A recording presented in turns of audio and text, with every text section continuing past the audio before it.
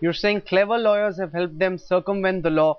Harish is in fact a panelist with Speak Asia. He's joining us at this time. Harish, have you been told about this uh, e-magazine before this? Have you received it? Do you believe it's worth 11,000 rupees? Are you confident that Speak Asia is on solid ground, Harish? No, I have not received any e-magazine. Neither have I was told about the e-magazine. I was just told this money is for the membership. No, was it asked for? Because they're saying it was a subscription and you were not promised any returns. We heard the CEO tell us no returns were promised. This was just a subscription. It was for the e-magazine. Do you believe the company is now completely changing tack and saying things which were not what was told to you earlier? Told this is for membership and you'll get a return, 1000 rupees per week. And I was never told anything about the e-magazine.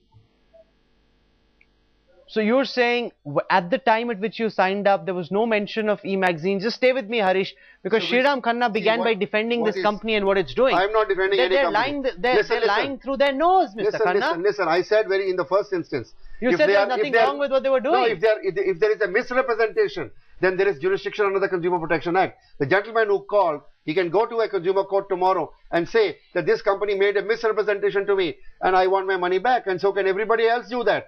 Apart from that, if there is a misrepresentation, even the Reserve Bank of India has powers to enforce under the non-banking financial companies domain.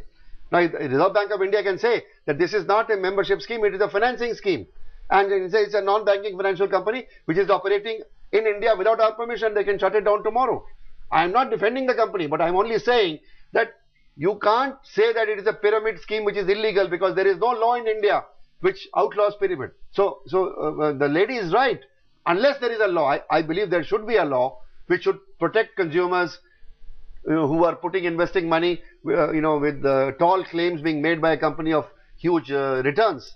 So, if there is no law, there should be a law. No, but, but can nothing be done till then, Mr. Malik? If there's no law, uh, investors are worried. What if this company runs away no, one RBI week from now? Because yesterday we saw a lot of bluff and bluster. The, C the direct, the CEO came here. Just one second. I want to tell our viewers just one thing, Mr. Malik that it now turns out that the CEO Manoj Kumar was appointed just three days ago. So on the 15th is when he was appointed when this whole scam first broke. So he's been in that job for exactly three days. Before that he told us that he was just a consultant.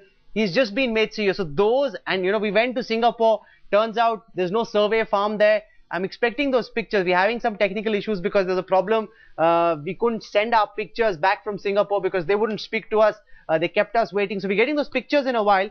But given the fact that these people have been changing their stance almost on an hourly basis, Mr. Malik, what happens? They're not speaking today. What happens if they run away? What happens to people's money? Rahul, whatever even has been already remitted, that itself is illegal because Reserve Bank rules are very clear.